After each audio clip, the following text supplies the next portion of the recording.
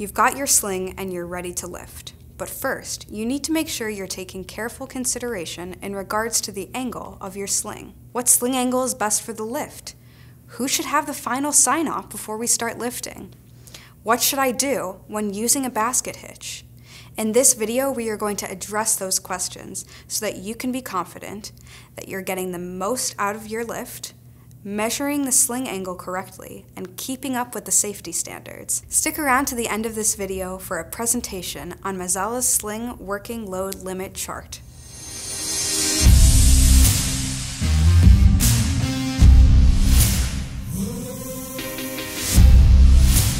Welcome back to the Lifting and Rigging channel. My name is Kay, and today we are going to dive into everything about sling angles so that you can be confident the next time you're ready to lift a load. We sat down with lifting specialist Nate Fisher to answer our questions.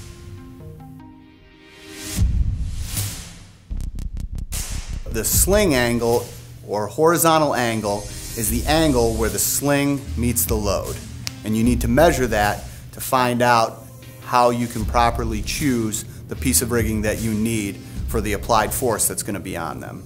So we want to check and make sure that that sling angle is good to go.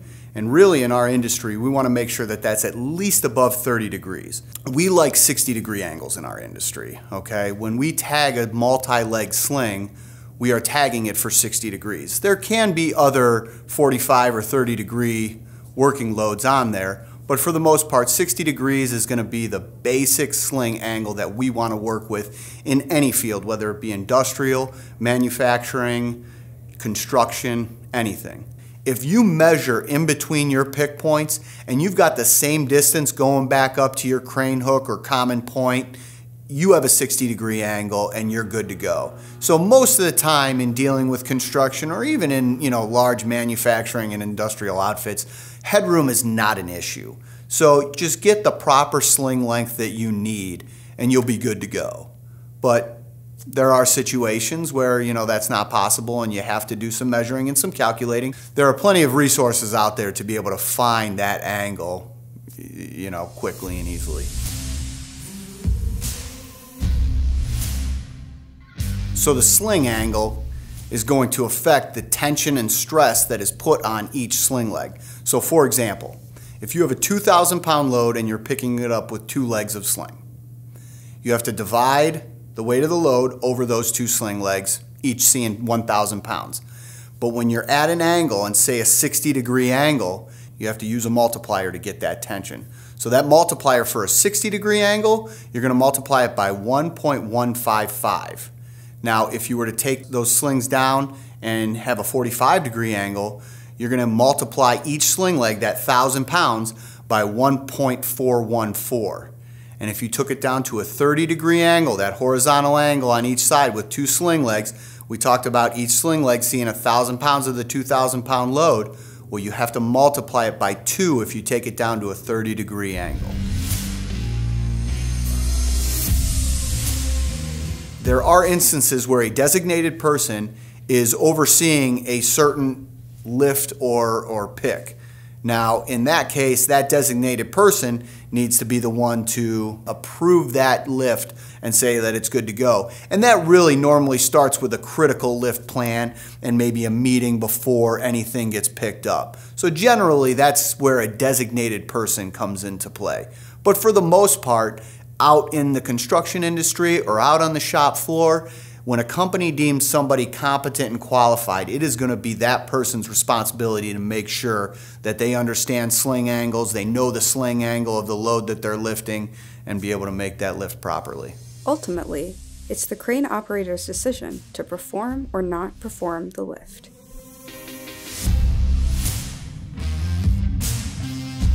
Anytime that you have a competent, qualified person working out there in the field lifting loads, 30 degrees is going to be the minimum that they should be allowed to lift a load at. After that, there should be a critical lift plan involved or some even some kind of engineered backing or, or de designated qualified person understanding that okay we're about to make a lift that's below 30 degrees let's make sure 100% that we've got the proper slings and everything in place to do this safely. In ASME B30.9, they say that anybody that's lifting loads below 30 degrees needs to have a qualified person or a critical lift plan approve that lift before it's done. And might I just say too, that if you're going to be lifting a load below 30 degrees, there is other options out there to be able to make that lift safely. You may need to introduce a spreader beam into the situation that spreads the load out to be able to then come down in a proper fashion to be able to make that pick a whole lot better than having to go below 30 degrees.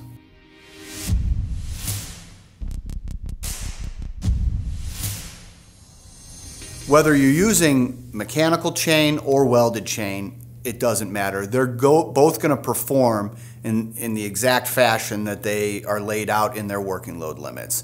And if you have a 3 8 chain with a, a hook on one end that is mechanical and a 3 8 chain with a hook on one end that is welded, either way, they're both going to perform the same. That multiplier of 1.141 or 1, you know, 1.155 for a 60 degree, it's all going to be the same for chain, wire rope, synthetic, all that.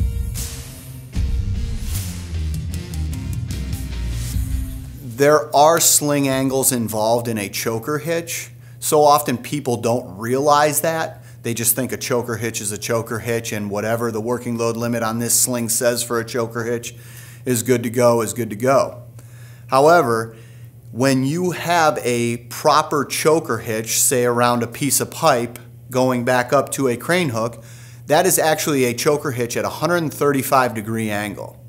Now, when you start to take that angle and decrease it by pulling it back away from the eye that it went through, you're starting to introduce sling angle into your choker hitch and you have to derate that choker hitch. And it'll go from 135, 120, 90 on down, but you need to take into account that you're adding force onto that choker hitch when you're taking down that angle. We need to make sure that we refer back to our materials on how that choker hitch is derated. And it's going to depend on the type of material that we're using, from a wire rope sling to a nylon flat web sling or round sling. They are different for different types of materials. When we're talking about a basket hitch, we need to make sure we're talking about a true vertical basket hitch. And that means that we've got distance in between the load that we pick up to make sure that our D to D ratios are correct. But at the same token, too, those sling legs that are going back up need to be going straight up in order to have that true vertical basket hitch like we have tagged on your sling. Now, if they go around a load and then come back up to a common point, you're introducing sling angle in. So we got to make sure that we understand that whatever our vertical basket hitch is rated for, when it's at an angle coming back up to a common point, we need to derate that vertical basket hitch to make sure we take into account the added stress from the sling angle. Let's take a look at Mazzella's sling working load limits chart. We've separated the chart out into different types of slings, with each separate chart showing different sling diameters, part numbers, sling type, or chain size. From there, the chart shows the sling angle and how much the sling can lift from that given angle. Reading a load chart like this for different types of slings is pretty straightforward. However, you'll want to make notice when looking at a basket hitch. You want to make sure that you understand that the true vertical basket hitch, say for a quarter inch wire rope sling, is 1.3 tons. Now, if we were to take one sling and put it over a crane hook and have an inverted basket at a 60 degree angle, you'll see that it's good for 1.1 tons. Now, so often we get the question, what if we were to take two slings up to a common point? Would that mean it's still a true vertical basket hitch rather than one sling inverted over a crane hook? And the answer is no. With two slings or one sling in an inverted basket, it's still going to be at 1.1 tons at a 60 degree angle. To download our sling working load limit chart as a pocket guide or a poster, check the link in the description. Don't forget to like, subscribe, and leave a comment if you have any questions or just want to say hi. Once again, my name is Kay, and I'll see you later.